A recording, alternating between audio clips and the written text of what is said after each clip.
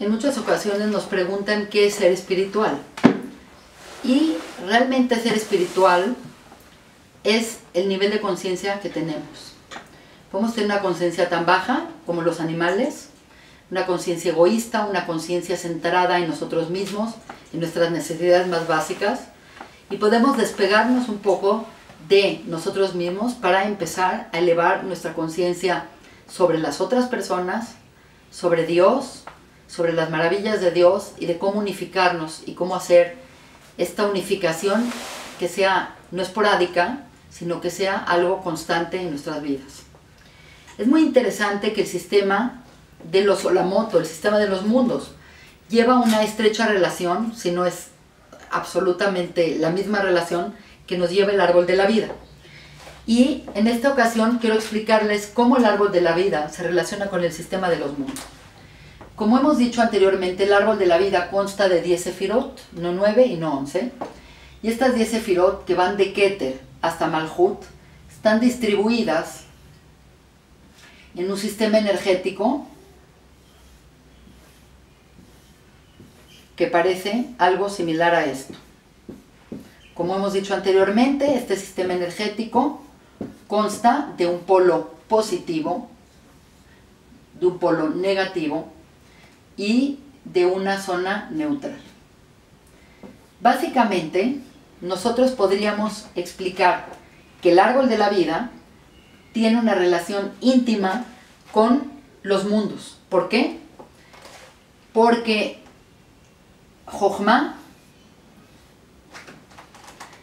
es el equivalente al Olam Atzilut. el mundo de la emanación. Binah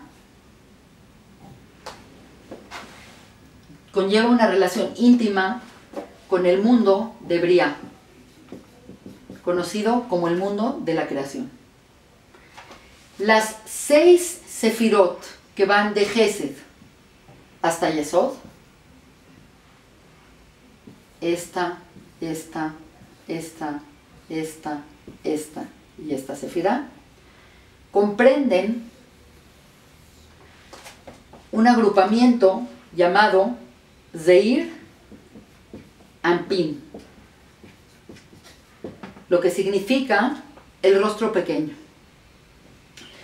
Y esta Zeir Ampin tiene el equivalente del Olam a Yetzirah, conocido también como el mundo de la formación. Finalmente, la última posición está Malhut, la cual tiene una estrecha relación con Olam, Asia o el mundo de la acción. Por lo tanto, el sistema de los Olamot se puede montar sobre el sistema del árbol de la vida para términos de entender y de ir complementando la información. Como dijimos, Kabbalah implica integrar información y que esta información cobre sentido para conocernos a nosotros y así también conocer a Kadosh Baruj Ya. Ahorita viene otra, que voy a explicar otra cosa de, en la correlación de eso.